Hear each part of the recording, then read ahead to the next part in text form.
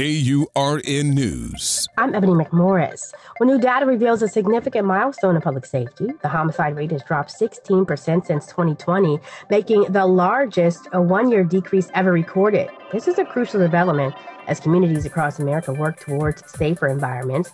Vice President Kamala Harris emphasized in a statement that before the Biden administration, the nation faced a troubling surge in crime, including record increases in murders. Thanks to the American Rescue Plan, which allocated over $15 billion for public safety initiatives, local police departments have received essential resources to combat crime.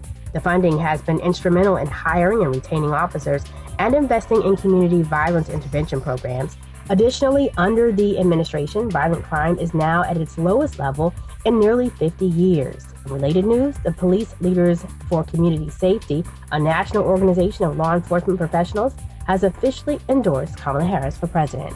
For AURN News, I'm Ebony McMorris.